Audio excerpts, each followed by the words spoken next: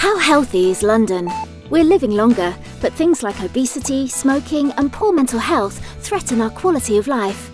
London ranks 7th out of 14 comparable global cities. Not bad, but we can do better. Much better. Take our children, for instance. Only 3 in 5 are school ready. And when they leave primary school, 37% are overweight or obese. The Healthy Schools London programme is now helping over 725,000 children stay healthy in over 1,500 schools. By 2020, we want to ensure that all children are ready for school and see a 10% reduction in child obesity. It's not just about kids. Last year, only 57% of adults reached the recommended 2.5 hours of physical activity per week. Over 1.7 million Londoners achieved this simply by walking or cycling as part of their regular travel.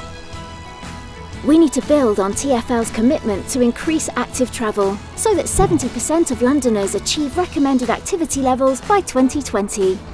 Tobacco kills 8,500 Londoners each year, and illegal tobacco makes it easier for young people to smoke. We're working with the Met Police, London Fire Brigade and local councils to stamp out illegal tobacco and reduce smoking rates from 17% to 13%. A healthy workforce is a productive workforce, but London's economy loses almost £1 billion per year due to sick days. As the largest employer in London, the NHS will be supporting staff to stay healthy, acting as local health ambassadors in the community. Mental health is just as important as physical health.